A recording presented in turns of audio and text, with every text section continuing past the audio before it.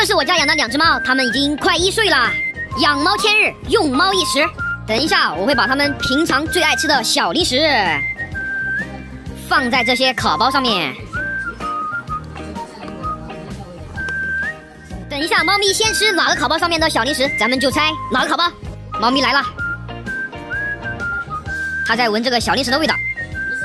它吃了这个烤包上面的小零食，这是三包三元。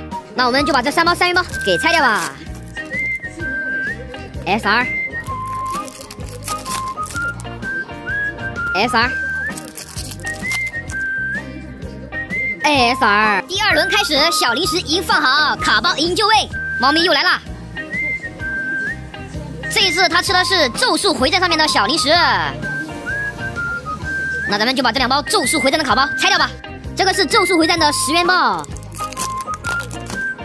这个卡包我很少拆。第二十三话、第十九话，一张虎杖悠人，这个呢是 SSR 卡，还有一包拆掉。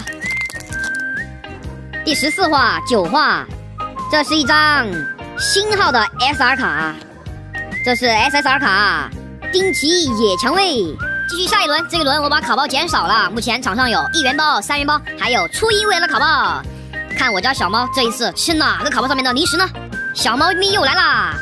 哎，这一轮他还是吃的三元包上面的小零食呀。那咱们把这三元包拆掉吧，看一下这次的三包三元包能拆出些什么卡呢？S R S R。S R，哎呀，三元包不行啊，最后再来一轮吧。哎，他怎么又吃这个卡包上面的呀？三元包，看一下这三元包能拆出些什么卡吧。一张 L 加二泰塔斯奥特曼，终于出好卡了。S R，S R，那你们觉得今天这期视频有没有意思呢？如果觉得有意思的话，别忘了把你们的点赞留下。那本期视频这样子吧，我们下期视频再见吧，拜拜。那肯定还有很多人想问了，为什么不让我家的这只猫来吃小零食？因为它呢不怎么爱吃小零食呀。